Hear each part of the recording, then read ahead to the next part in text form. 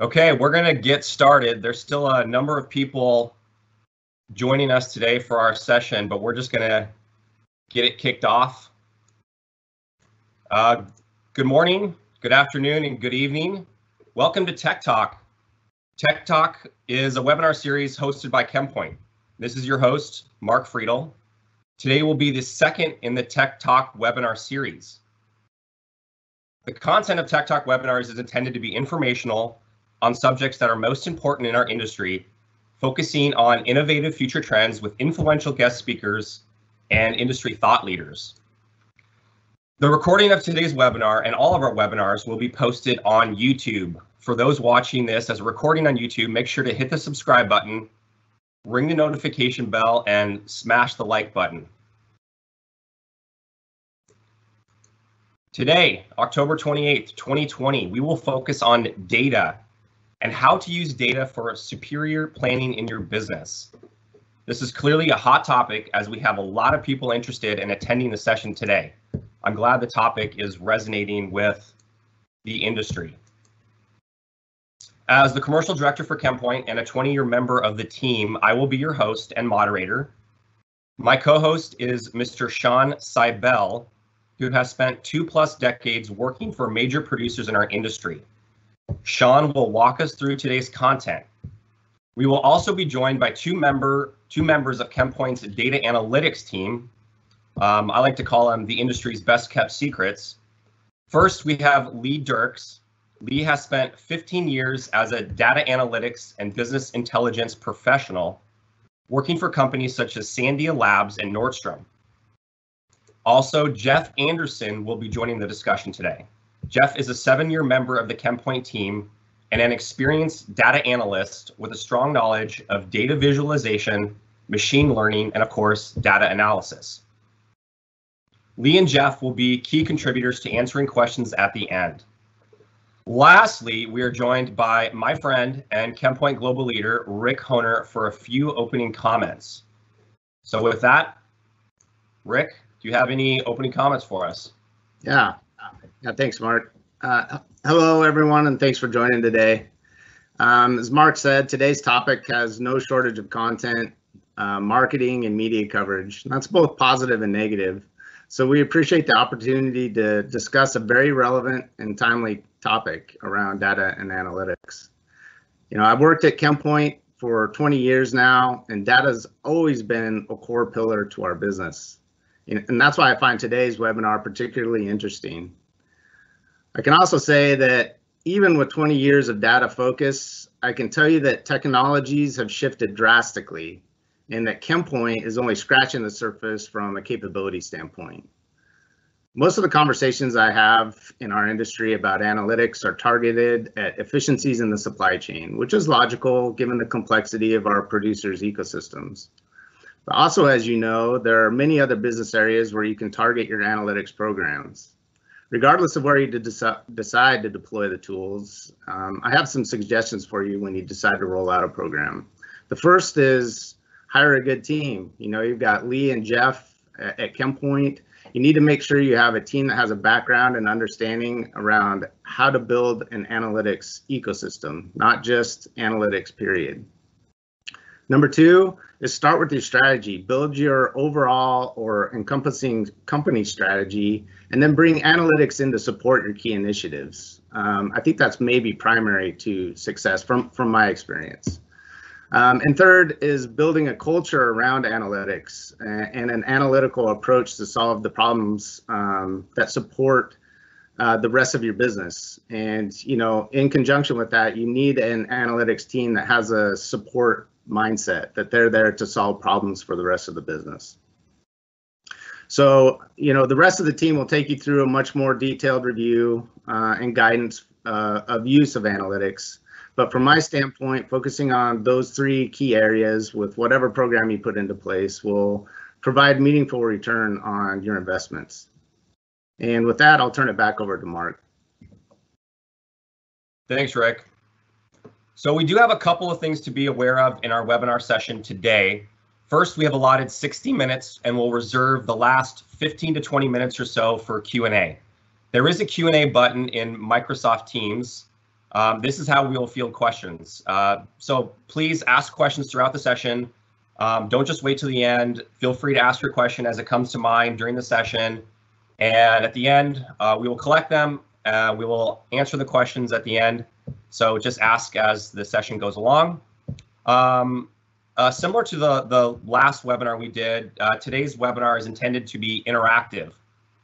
Uh, so in addition to the Q&A at the end, we will also have a handful of questions throughout the session. The questions are optional and intended to be light, intuitive, but hopefully it will also steer today's discussion. You will need your cell phone camera ready to participate in the questions. Alternatively, you can pull up a web browser and go to the website menti.com, M-E-N-T-I.com, and that'll also allow you to answer the questions when they come up. Finally, similar to our previous webinar, uh, we use some ChemPoint examples to illustrate some of today's content. But again, please don't take the content of today's webinar to be a commercial on ChemPoint. We are rather exposing some of ChemPoint's tools as examples only, nothing else. The, the true intention of today's webinar is informational only. So before we get into it, we feel we need to set the stage on data, specifically what it is and why it's important. More and more companies are relying on data to make decisions. Instead of using human intuition and gut instincts that can oftentimes be inaccurate, we are relying more and more on data to drive decisions and take action. In 2018, over $27 billion was spent on data consulting services. These experienced resources can guide us in this very complex topic. To put data in perspective, it may be helpful to break it down into its most basic elements. Bits and bytes are the most basic elements of data. A byte is a string of eight zeros and ones, or eight bits. A kilobyte is roughly a thousand bytes and is about the amount of information that can be stored on one of these oversized floppy disks that we may remember from the 1980s.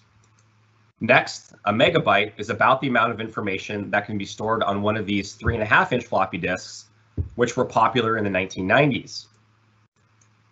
From there, we have a gigabyte, which is roughly the amount of data required to stream an episode of your favorite TV show on Netflix then we have a terabyte, which is about the amount of information that can be stored on a computer server or today's most powerful desktop computers. Next is a petabyte, which is on the order of information that is generated by Facebook daily. Now an exabyte is the order of information that Google has. To put exabytes into perspective, it is estimated that every word ever spoken by humans throughout history is roughly five exabytes if those words were stored as data. Next are zettabytes, which is on the order of all the data in the world. Finally, we have a yottabyte, which is such a large and absurd amount of data that it would require storage facilities with a footprint the size of the states of Delaware and Rhode Island combined and cost $100 trillion. Now, as mentioned, Today's webinar will be interactive. As such, we have come to our first interactive question. The question is gear, geared towards the speed at which data is growing in our world. So the question is, how frequently does data double in the world? Now, get out your cell phone cameras, scan and hold, hold the camera up to that QR code um, on the slide you're seeing here. And if you're using an iPhone, it should automatically prompt you to go to a web, web browser to answer the question. Um, alternatively, you can go to the website menti.com, enter the, the code written here to answer the question. Um, it is a multiple choice question, but we'll still give everyone a few minutes, or sorry, a, a, a few seconds to complete this. So I'll just pause and everyone take a few minutes to go and answer the question.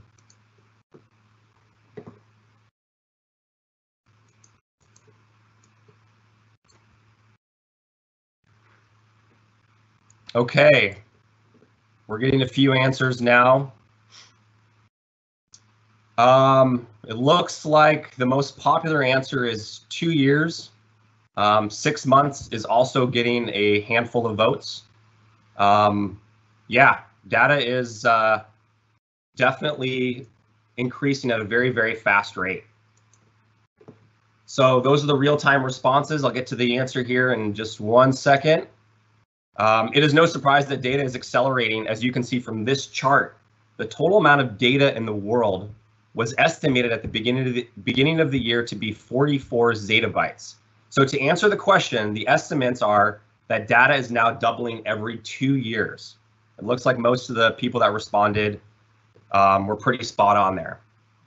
However, the speed of data is accelerating and all the data in the world is expected to reach 175 zettabytes by 2025. So it really appears a yottabyte is not that far off. Now, people might ask, where's all this data coming from?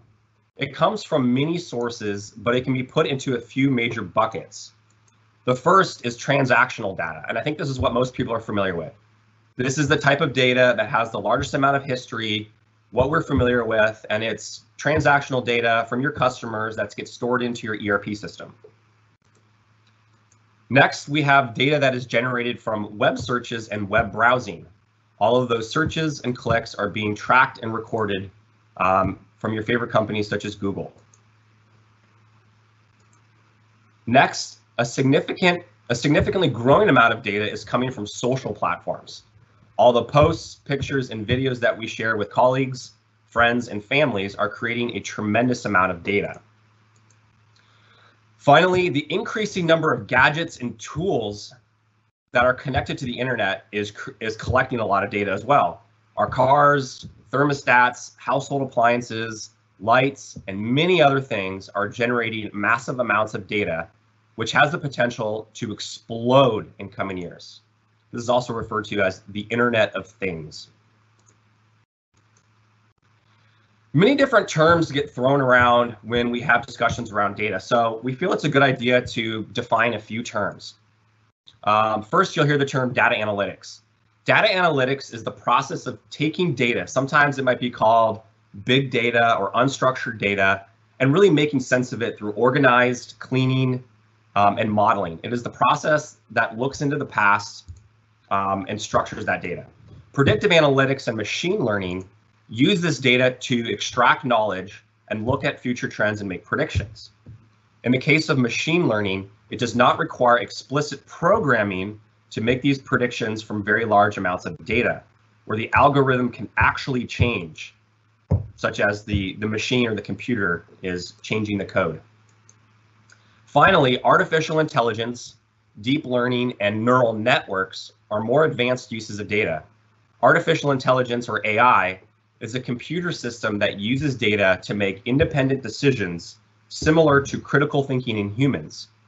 Artificial intelligence can further be broken down into general AI, weak AI, and strong AI. Deep learning and neural networks are more advanced forms of artificial intelligence that mimics the brain to process multiple nonlinear inputs and outputs and form conclusions. These are obviously advanced discussions or advanced topics. Um, and if we'd like to get into these discussions, we've got our experts on the line so we can uh, field more questions around these more advanced topics. Now, to highlight the power of data, we would like to go back um, to a story from Forbes magazine in 2012, um, just as an example of how data can be powerful and even sometimes a little bit scary. Target had a new data analytics program to better assist customers.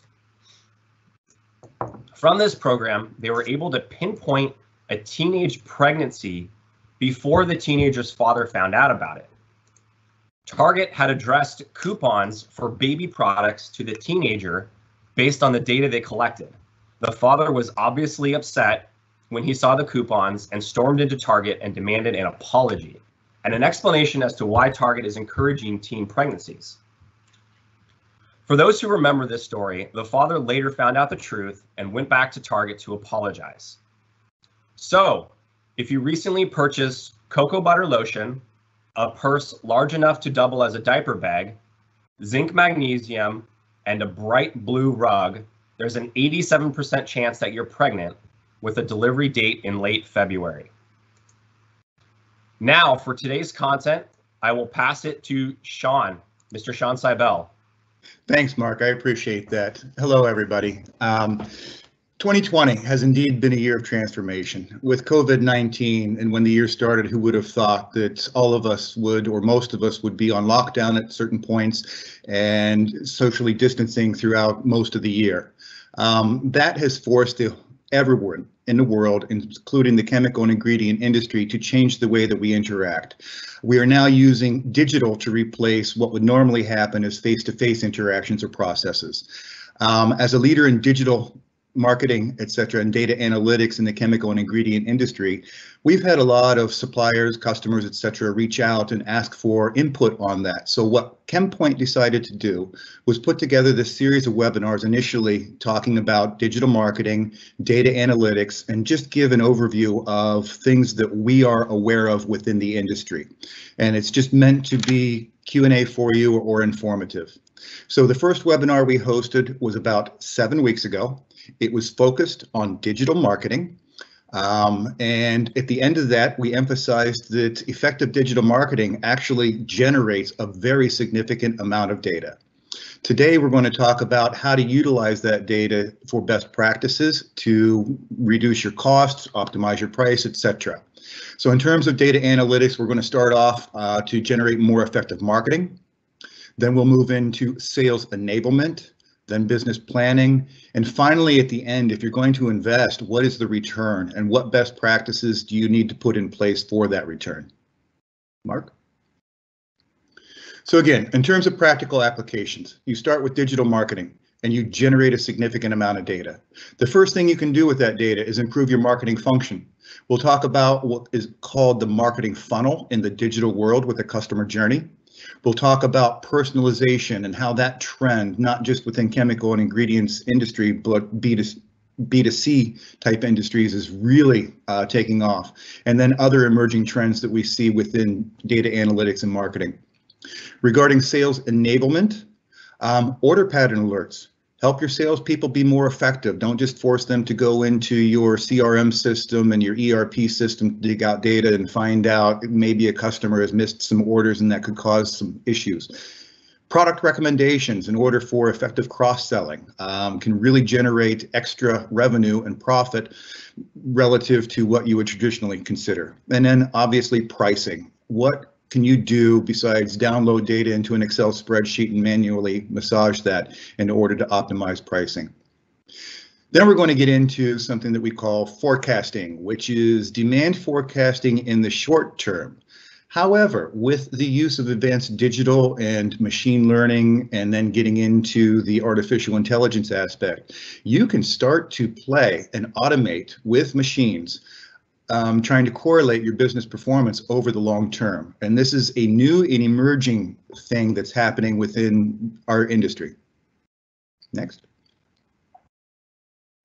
So we're going to start off with marketing. Much of this data is generated by marketing, so let's use it to improve marketing. Before we get into any details on this, the one thing that we want to put up front is that when it comes to data, data gathering, data storage, and data analytics. There are a lot of third-party applications that are recommended out there. This is just a list of the applications that ChemPoint uses. However, we're not trying to sell these companies or these applications. You could utilize other applications from others just as effectively.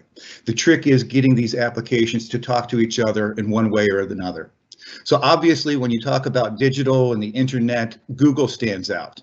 Google has many different tools available that do different things. Google Analytics, their Search Console, ads and trends, and we will highlight some of the tools that we utilize in different parts of our data analytics. There are tools called Visible and Marketo that really help understand your email blasts and things like that. Microsoft Dynamics happens to be the CRM system that uh, ChemPoint is on. Power BI down below that is a Microsoft tool for data analysis and visualization. So because they're both Microsoft, they easily tie together. However, Power BI can be used with other CRM and ERP systems.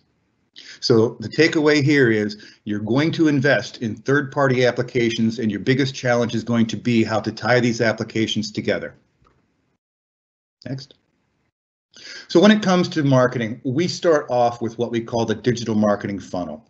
And again, we had our first webinar focused on digital marketing about seven weeks ago, and it is posted on YouTube.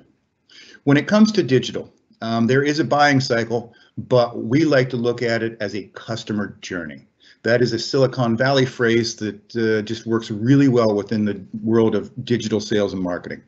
And the funnel starts at the top with what we call an impression. And an impression is when a person out in the world looking at the digital universe sees your brand in some way, shape, or form, whether it's through an email or a Google search.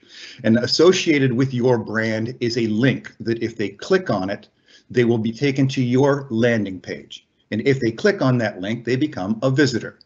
And if they stay within your page, explore around, find something they're interested in, and want more information, they become a marketing lead. And the customer journey continues to go on and on and on until you have a certain number of wins that are transformed into actual customers. The takeaways here are that within the digital world, you should recognize that over on the far right, there is a high number of impressions that will be made out in the digital universe.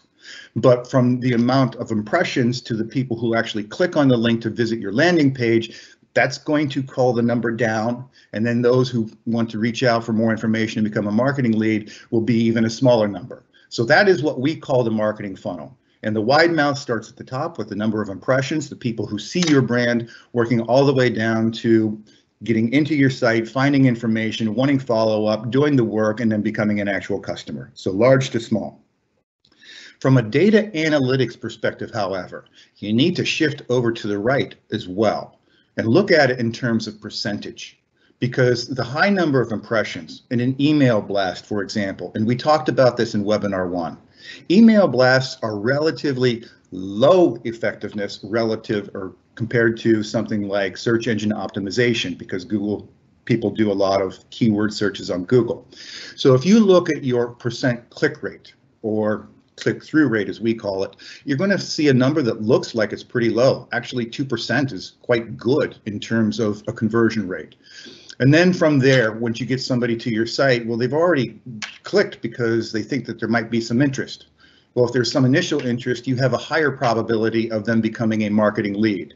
And if they become a marketing lead and find something that they wanted more interest in, they'll ask for a sample with even higher probability, and the probabilities continue to go up until you reach the point of customers. So from an analytical perspective, trying to improve your marketing, it starts with the marketing funnel.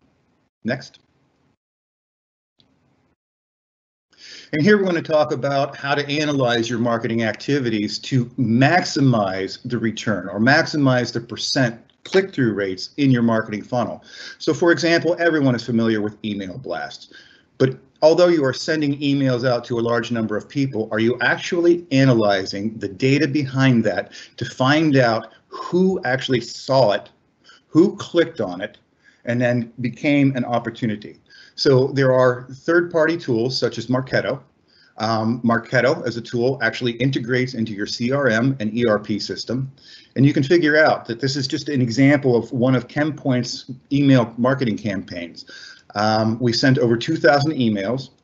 Over on the right, if you look at bounces, that's the number of emails that came back, invalid address or something else happened. Okay, so that was just less than 10%.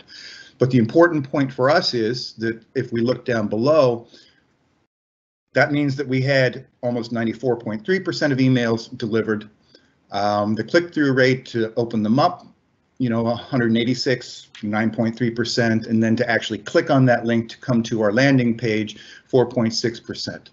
The type of data that you're looking at here from a marketing perspective helps you understand what keywords resonated with the people that you sent that information to or that email to. You can break it down into market segmentation because you know who opened it and who clicked in. That data is re readily collected during this whole process. So you can refine future email blasts, figure out what keywords resonate more than others, and any type of pictures or things like that. Next. Search engine optimization data and results. This is just going to be very quick. In the first webinar, we talked about search engine optimization as being the leading digital marketing tool that you have in your portfolio today. Uh, keyword searches on Google are dragging or bringing more website traffic than any other marketing tool available. However, all of that traffic is tracked by Google and Bing, and you can download that data to your website or utilize another site or application called Ahrefs that will give you information or insights to other people's websites. You can actually see what traffic is being driven through different keyword searches to other people as well. This is just an example of thickening and binding cleansers and hand sanitizers with ChemPoint. Um, you're looking at the top there, the chart over time, thickeners for hand sanitizers. Okay, not a lot of keyword searches. A lot of people understood what was out there and it was not a high, you know, demand industry until March and April of 2020 due to COVID, when all of a sudden people were searching and scrambling to find hand or thickeners for hand sanitizers and other ingredients. What you're looking at here is from a digital marketing perspective. The purple line is total impressions. And again, that's the number of people that see your brand with a link that they could potentially click. And then in the blue is the number of actual clicks to get them to your landing page. So you can go in and track this and again, utilize this information to further refine future marketing campaigns based on what keywords actually worked because you're doing this based on keyword searches and Google will tell you what keywords generated this data. Next.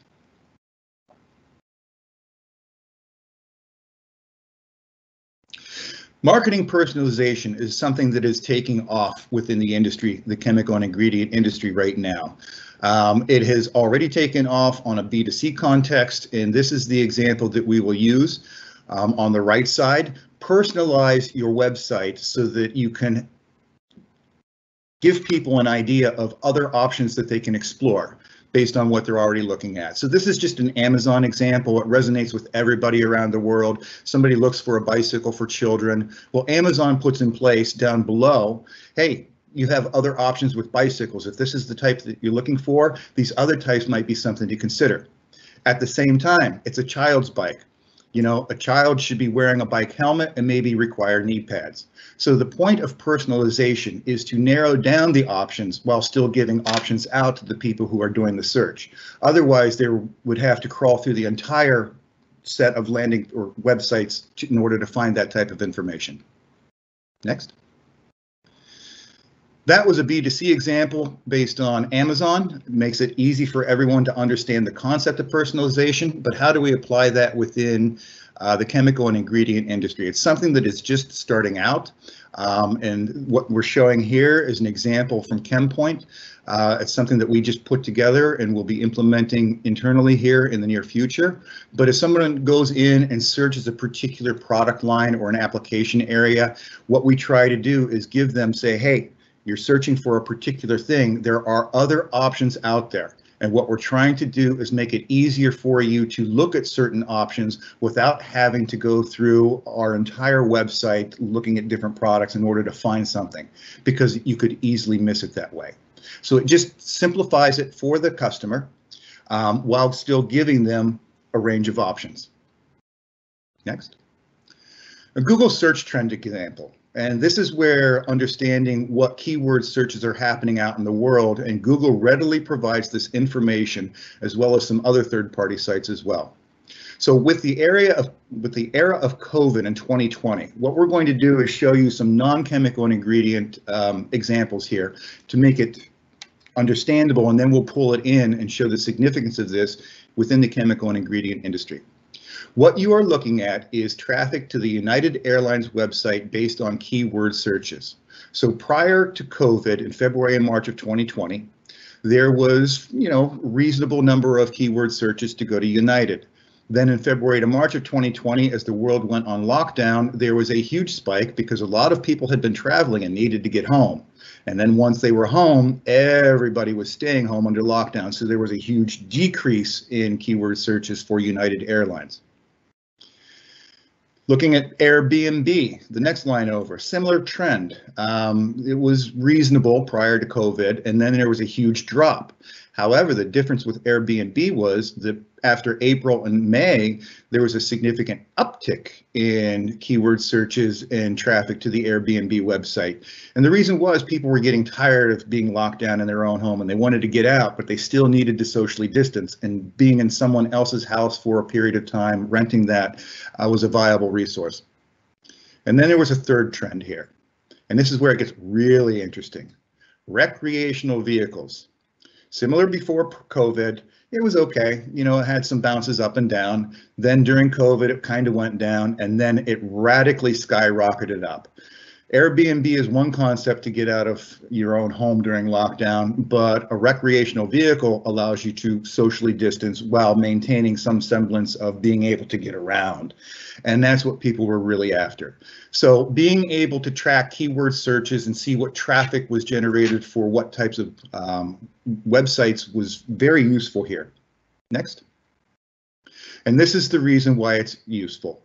We're going to look at recreational vehicles. So we have in purple the original uh, keyword search, you know, web traffic, etc. Prior to COVID, uh, you know, the wholesale RV shipments, which is the yellow line, uh, had been doing very well, and then it dropped dramatically in COVID, just like everything else did. But then it started to go back up really fast. Um, people were buying them left and right. And if you look closely, there is a one to two month lead time or offset between the keyword searches and the actual sales or shipment of the RV. So it tracks very well. Prior to that COVID incident, there was very little correlation, but what it, the data suggests is that when we had a very unique situation and people were desperate, keyword searches and being able to see that online outside of the chemical and ingredient industry you could actually predict what the sales would be, which would help you with short-term forecasting and also tell you that you need to get a digital marketing campaign out there very fast to make sure that your landing page is the one that people go to. Next. Now we'll move to Google search trends example within our own chemical and ingredient industry. Here, if we look at hand sanitizer searches from March to April to May, you know, we saw a huge spike and it was relatively high and then it dropped down. That's in blue. Keyword searches, website traffic. Now we're going to show actual ChemPoint sales of thickener that we sell into hand sanitizers. And if you look closely, we saw with a one to two month lag or offset, um, it trended perfectly with the keyword searches through Google and Bing. So there is a correlation in certain circumstances that allows you to predict so that you could do short-term demand planning, but also tells your marketing group, get the digital campaign out the door now because people are on this and we need to make sure that our link, our brand is first in any Google search. Next.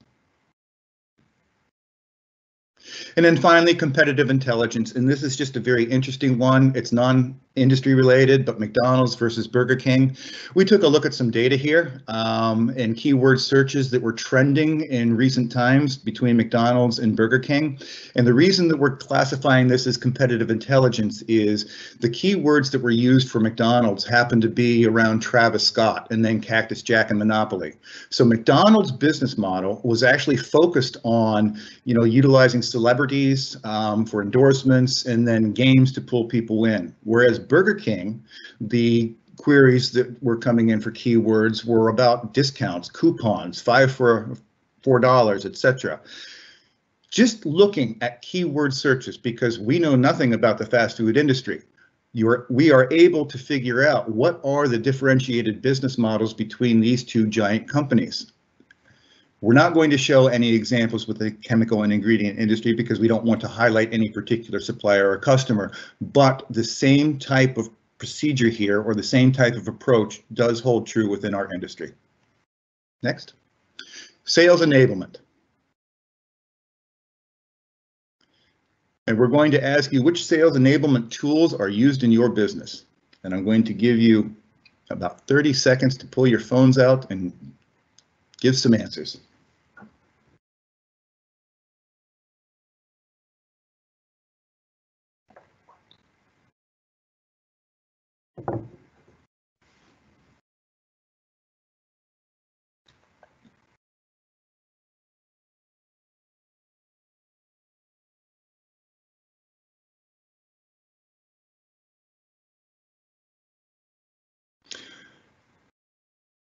Okay. Are we ready to move on, Mark?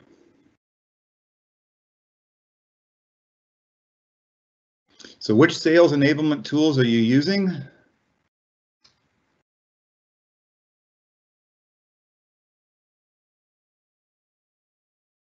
We have a whole variety here of pricing, uh, pricing, cross-sell, Google Analytics, Magic 8 Ball, the loudest person is right. Uh, that's my favorite right there. I'm very familiar with that one. so next slide, please. We're going to go down through a couple of sales enablement tools uh, that ChemPoint uses just to highlight an example. These are based on third-party applications, but the IT and analytical group uh, with Lee and Jeff have done a lot of modification in-house. And I will be upfront with you that a lot of these, in fact, all of these do incorporate machine learning. And that's a key and critical part of the wave of the future in digital versus the way things were done in the past. So order pattern alerts. I mean, historically, coming from the chemical manufacturing base myself, the salespeople would have to go into SAP or whatever ERP system was used in order to extract the data, or maybe it was extracted for them and sent via Excel spreadsheet. But either way, they would get a spreadsheet and they have to kind of ballpark, is my customer on track or is there an issue here? You can automate a system to do this for you and make it very easy. And if you incorporate machine learning into it, it's actually very effective as well. So customer churn, obviously customers come, customers go, but hopefully a customer, if you find out or recognize that they're on their way out, maybe you can ward that off and stop that process, you know, maybe a lower price or something like that. So there is a process or an app that many apps that can be used for this. Uh, we utilize Power BI internally, um, which is integrated within our ERP system. And with a machine learning component to it, it will go product by product, customer by customer. It will look at the historical order pattern for those. It will generate through machine learning what is the predicted next invoice and a short-term forecast. And if that gets missed, it will automatically update or send it out as a report to the respective salespeople so that they can follow up. So it will classify things as healthy or at risk, those are the ones the salespeople should reach out immediately or our customers churned and already gone. So instead of forcing the salespeople to do this themselves or do it via Excel, it makes life very easy for a salesperson, saves them a lot of time they can automatically see. Next. But as we talked about, it's machine learning. So what we try to incorporate into there is some feedback and that's going to be very important here for the product recommendation.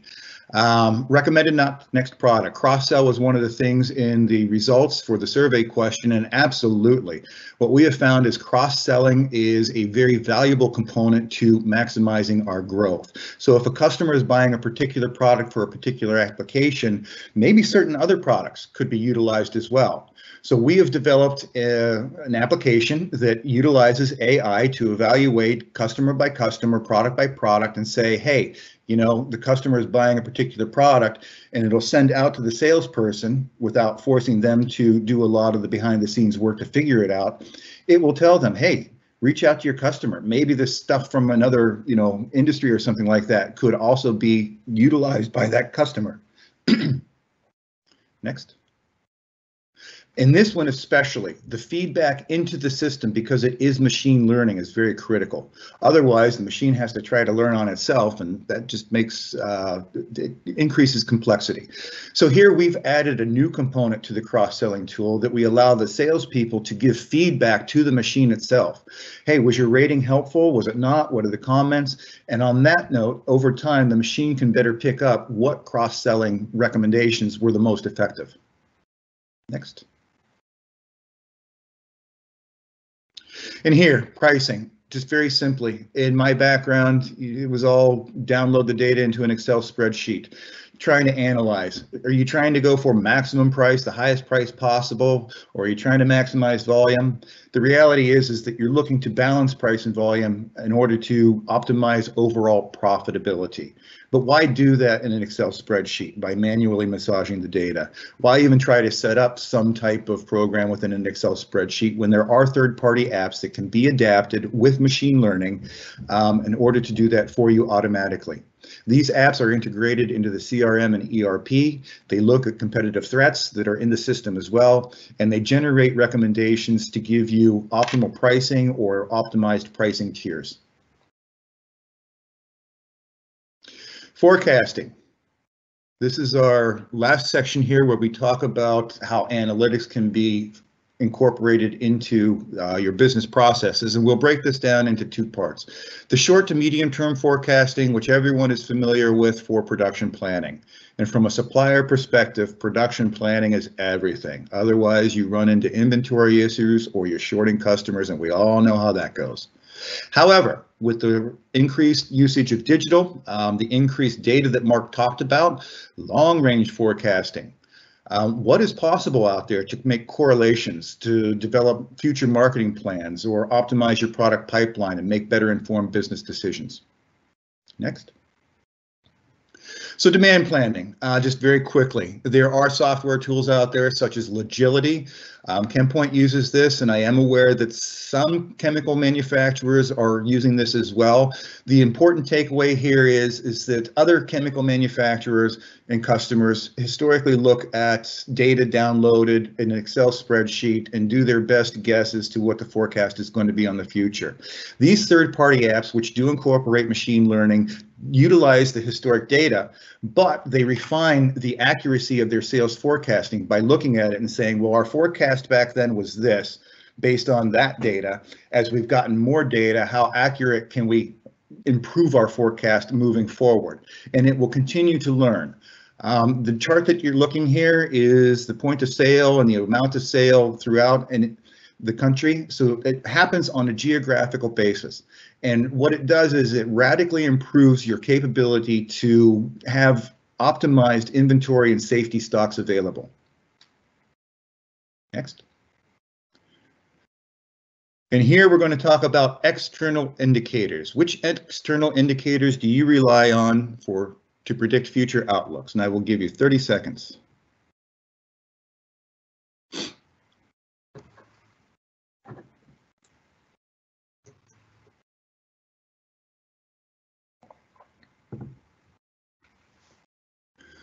Okay. Mark. Yeah, Sean, due to the, due to the delay, there's uh, a little slow for the results to come in, but we've Okay. got a handful. Um, it's just a little slower to come in.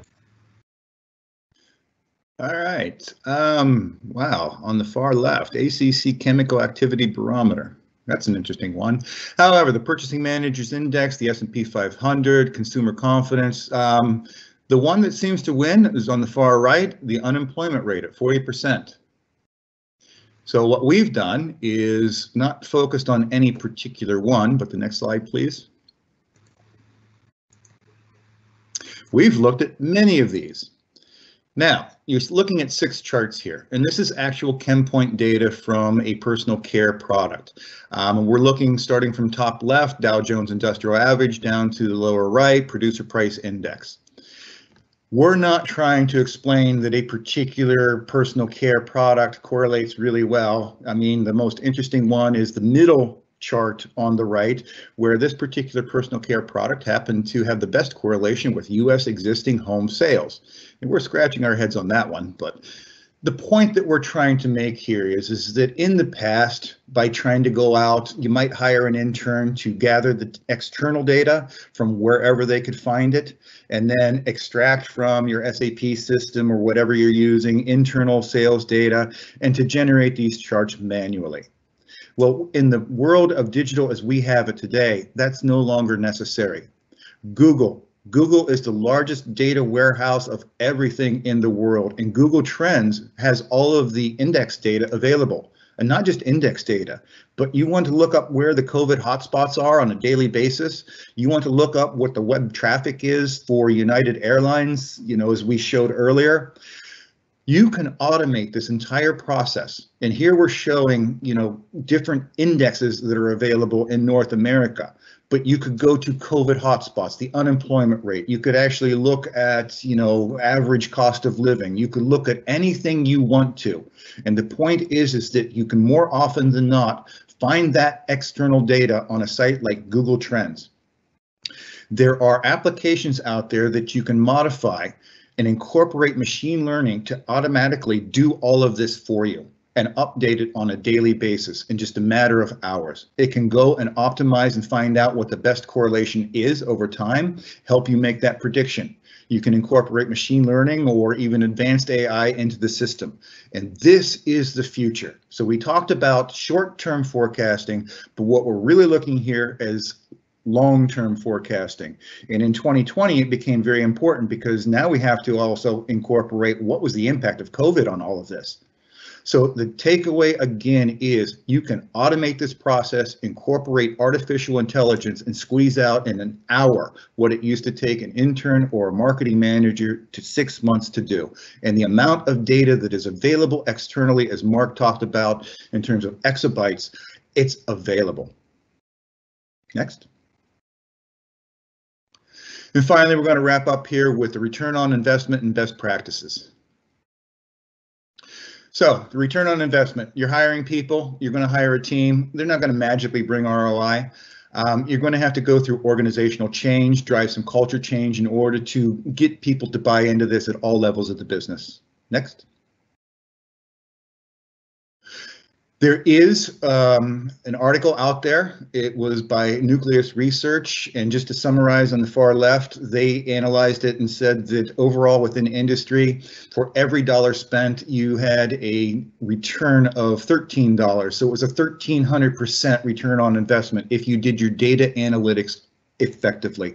And they measured five ways, which was the impact on cost, competitive edge, speed to value, team efficiency and the effect on the revenue.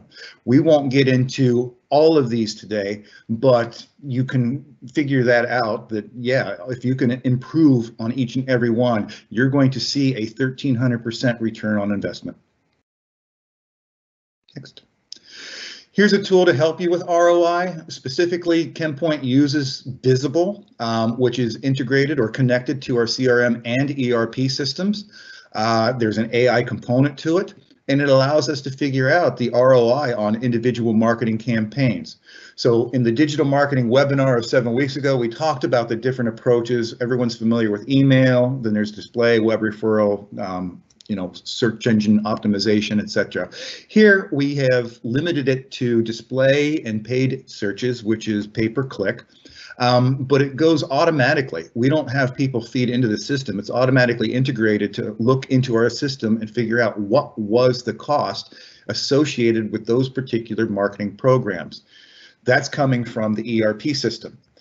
Then it integrates into the CRM system automatically to figure out what opportunities were associated with each of those programs. Because all of this data is available and all you have to do is bring it together from the opportunities, where did it go from there? What was the return on those individual investments? That helps you refine your marketing campaigns in the future.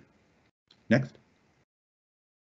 So finally, we're going to wrap this up here talking about intent-based marketing. And I take you back to Mark's example of Target figuring out that a certain young teenage lady was actually pregnant and was sending her coupons. How they did that was a process called intent-based marketing. Um, within the chemical ingredient industries, just to give you an example of that it is possible in a B2B context, we did intent-based marketing as well. And based on that, we know that there are over 150 com companies in the chemical and ingredient industry that are right now today exploring an investment in data analytics software. And we can figure out who they are.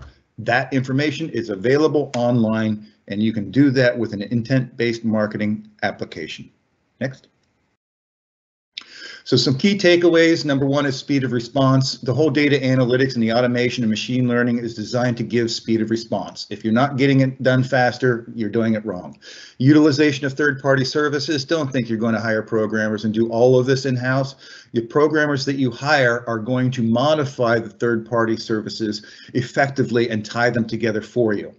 It requires significant creativity and critical thinking on their part, and it also requires the different functional groups to give input as to what types of data they need. In terms of don'ts, absolutely. Number one, do not sit on your data and do nothing with it. It's being generated, it's probably being collected, monetize it.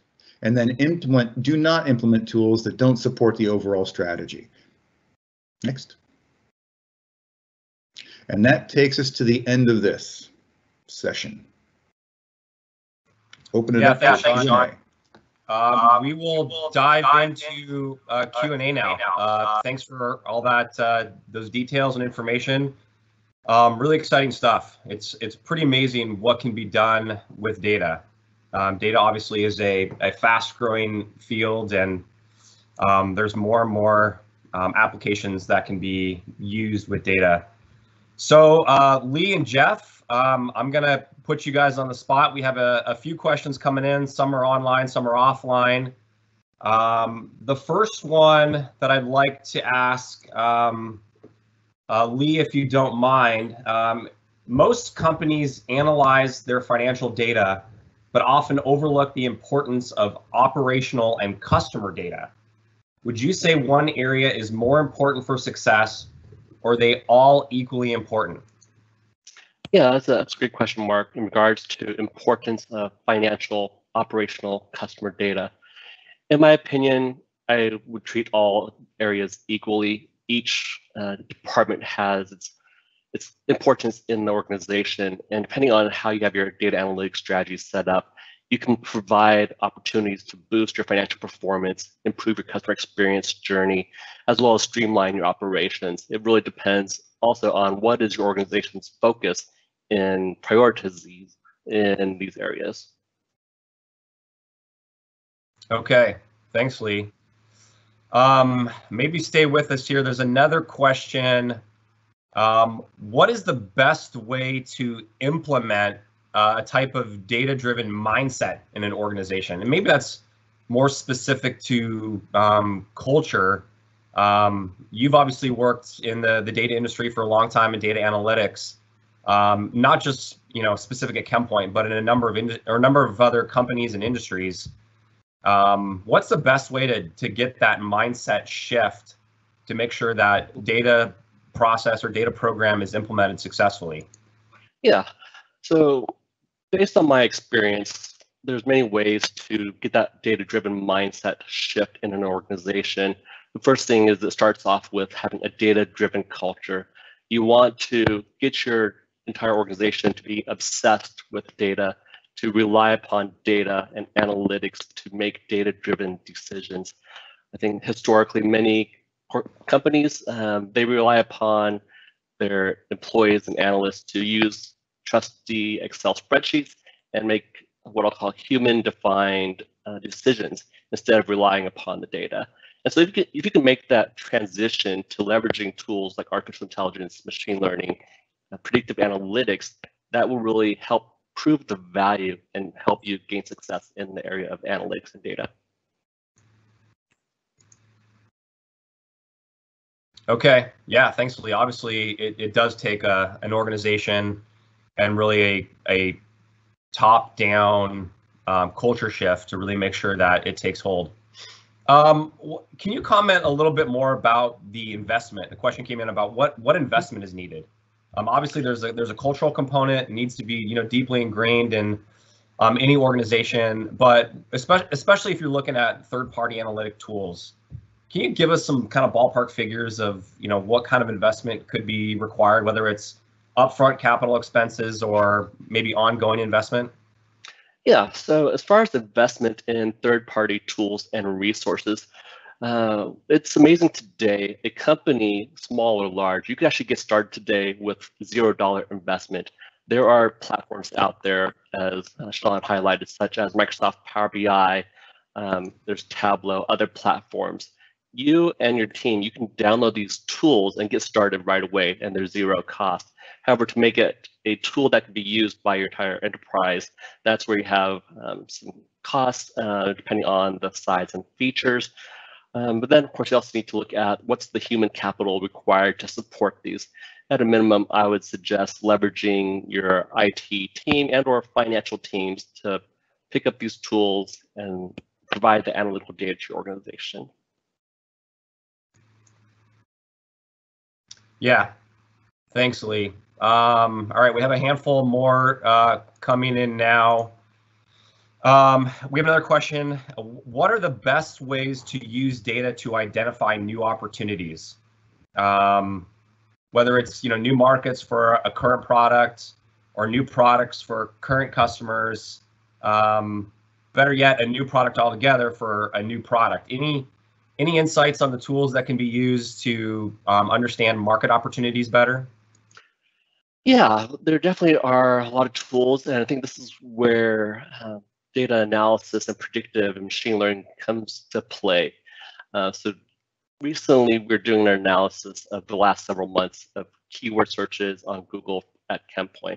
And in addition to hand uh, sanitizers and thickeners, we saw a big uptick in alternative uh, meats, such as plant-based um, burgers and things like that.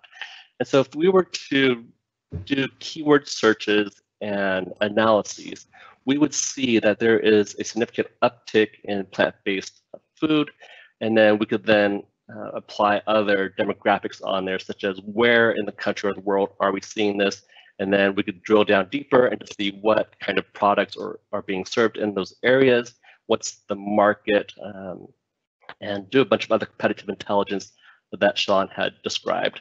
Uh, so there's a lot of ways to improve your go-to-market strategy with data analytics. Yeah, I, I, would agree. A lot of the tools that we talked about prior um, are, are, ways to identify those new markets and new products. Um, we have a question that came in about search engine optimization. Um, you know, I, I, think search engine optimization, and, and, the question specifically is what is the most effective way to boost SEO? Um, we, we addressed a lot of that in the previous webinar talking about uh, digital marketing. Um, but but to kind of to summarize a bit, and you know, Lee, feel free to chime in, um, or Jeff. Um, essentially, it's it's putting out a lot of content and having um, a long history of online content, um, and it, it, it being relevant. And it, you know, there's there's a lot of different ways to do it. Um, Google's somewhat um, secretive in in their algorithms, um, but there's a lot of different methods. Lee, I don't know if you want to you know chime in. I'm actually let Jeff uh, address this one. Yeah, sure. So um, some of the strategies that we use are obviously keeping in keeping an eye on our website um, from a technical perspective. So we have a lot of monitoring around our uh, around our properties, and um, so that we can ensure that the website is fast and um, and uh, online and all of that at, at all times because those are super important for uh, SEO. Um, and then and then like uh, like Mark said, keeping an eye on trends to put out content to um, uh, you know to write new content and and boost our boost our visibility for for high uh, high volume keywords um, are our main strategies. And then obviously putting out content for all of our products so that we always have um, something show up when uh, when someone searches for a product Yeah. Thanks, Jeff. Mm-hmm. Um, there's another question that's coming in. I think it's really more specific to um, culture. Um, and I'll I'll take a stab at it. And actually, Rick, if you're still on, maybe you can um, add a couple comments here as well. But the question is, what activities are required of my sales force to feed data into the machine? Uh, that's a great question because that's that's key to a lot of this data. I mean, obviously, there's lots of different sources of data. Um, you know, I, I, think we referred to this type of data as more more transactional into your CRM and ERP. And for me, this is just very very cultural. It it requires um, um, CRM to really be a, a backbone of your of your culture of your infrastructure, and it needs to be able to be a tool that can have value for your sales team and your customer service team um, so that they find value in it, not just to push information so that someone else finds value in it. They need to find value in it themselves. Um, Rick, I don't know if you want to add any comments. No, I, th- I think you said it pretty well. For for us, it starts at the top. Uh, you know, our everything that we do, our guiding principles, et cetera, have to focus on data, and we've been very clear that uh, data is a key priority for us as a business. It's easy in sales to look only at the margin numbers versus capturing data. Um, and maybe just to add on a little bit is, is you have two methodologies. So at ChemPoint, the CRM, there's really no opting out for the sales force. You have to use the CRM to do your job every day. And in doing the using the CRM, you're inherently creating data that is useful for the marketing team for the rest of the business to use. The, you know the second part of that is actually showing the sales team that by adding that information into the CRM, it makes their job easier and their life easier, right? Either it it provides new cross-sell opportunities, it uh, identifies new opportunities within their market space, et cetera. So I think you kind of have to go two two prong approach is don't really allow an opt out option for your crm because that's the point of data for your salesforce. Yeah and then i'll just quickly add on to that uh, if you want to find a a creative way to encourage increased adoption of data into your systems think about doing some kind of um, competitions. We've done competitions in the past, such as the number of um, contacts or cross sells or activities entered into the CRM, the person or team with the highest, they can get some small monetary award. But just be creative about it. Yeah, that's a that's a great point. Um, obviously, you got to in- incentivize the team um, in in various ways. Um, Lee or Jeff, this might be a question for for one of you. Uh, is there such a thing as too much data? Like, what happens with too much data? How can you effectively filter out the bad data so that it becomes um, so that business decisions are sound? Is there is there such a thing as too much data that just creates noise, and how do you filter it out? Yeah, I'll, I'll address this one, Jeff. Feel free to, to add in. Um, so there definitely is scenarios all the time we encounter, even at, at point, where there's too much data you might have someone say, I want to have all sales for the last 10 years, and I want to have all these different customer attributes and product attributes. And this is going to be a, a behemoth of a data extract. And we give it to the individual that requested it, and now it's up to that individual to go to Power BI or Excel or whatever it is, and he or she needs to then slice through all that data. Um, it's what the customer requested, but can they make sense of it? Not really, because this is too much. So that's where uh, teams that use machine learning and tools like Power BI, Tableau, whatever it might be, we could use these tools to pick up um, key pieces of information to drive action. Um, Jeff, do you have anything to add on to that? Uh, I would just add on uh, like the the situation where there's unstructured data, so data that that isn't um, consumable directly by an end user. So there's a lot of sources out there that um, that will give you data in a, in structures that aren't easily consumable in Excel or or stuff like that. And you might need a data engineering team to, or you know, some kind of uh, software person to translate that data into column format. Um, that happens very often as well. Um, so there might be some uh, some translation needed. Yeah, for sure. Thanks, uh, Jeff and Lee. I know we're we're going over here, but we're just going to take one more question if you don't mind, and um, it's regard it's regarding Amazon. Um, Amazon really is is famous for giving different prices to different customers based on browsing and purchase history data. Um, I don't know if that's if that's obvious to everyone. I, I you know I'm I'm kind of vaguely familiar with that, but I don't know the details. So uh, obviously, it's easier with with B2C where you've got a lot of a lot of data points, a lot of customers, and it's maybe a little bit trickier um, in the chemical and ingredient industry. But is there a way to do this within the chemical ingredient industry? Um, and and how, um, yeah, how how does the lack of that that B2B data? There's not that, like I mentioned, there's not that B2C where there's you know hundreds and thousands and millions of customers. There's a, a finite amount of data and maybe this goes back to our pricing um, example and tool, but is there a way to take fewer and fewer data points and um, develop a more sophisticated pricing strategy? I don't know if there's someone who wants to jump in and take this one.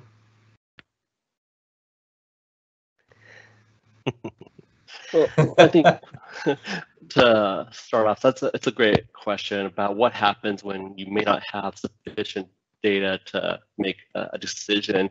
And so what we would probably do in this case is you want to look at what data do you have, extrapolate that with other information that you have about the product, the customer, the business, look at past and possibly predictive trends, and that could help inform a strategy. Uh, so if we have, for example, a new customer to ChemPoint, they've never purchased with us before, we want to find out all we know about this customer. What what are their key business areas and where could we possibly grow uh, within that customer and that could drive a pricing strategy. Maybe yeah, just- and I would just I would just add on to that uh, to to give sellers data. So obviously the pricing is largely driven by the quoting process uh, in our industry. So um, giving sellers data to kind of uh, be able to judge how much they think they should be, um, uh, you know, quoting for, um, and and then using their skills of negotiation to, you know, increase your pr- pricing. And may, maybe I'll just add, and clearly I'm not I'm not an expert, but you you probably have more data than you think you do. Um, I think one area to look at is every time a product quote comes up, you should be capturing whether okay we we know we secured that business, but are you taking a look at everywhere where you haven't secured that opportunity, which should be a pretty good hinge point to dive in and uh, allow you and your team to make some decisions around, okay, we're losing uh, 20% of uh, any quote that we come up, or customers are coming in, seeing a price that's available on our website and aren't going any further. And so you probably have a lot more information than you think you do, but you need to be taking a look at areas where you're not winning as well as areas where you are winning. Yep, and that could be a matter of just collecting that data inside of your CRM or whatever you're using for your quoting process. Yep. Great. Thanks, guys. Thanks, Jeff. Thanks, Rick. Um, well, I know we went a little long today, um, but we're going to wrap it up. Um, thanks for everyone for for attending. Thanks for kind of sticking with us through uh, as this went a little long. Um, hopefully, the information was was helpful and useful, and more importantly, hopefully this could be applied to your business. Um, how to make better, you know, business decisions, uh, better planning through some of these data programs. Um, you know, Jeff Lee, thanks for taking the time to answer the questions. Sean, thanks for going through um, a majority of the content today. Rick, thanks for your comments as well. Um, stay tuned for our next uh, TekTok webinar. Um, it'll be coming uh, very shortly. Uh, we don't have all the details finalized as far as what the next one will be, but stay tuned. We'll send you more details and announcement. And as mentioned before, this uh, recording of today's event will be able to be viewed on the ChemPoint YouTube channel um, shortly. So thanks again. We'll chat with everyone soon. Bye for now.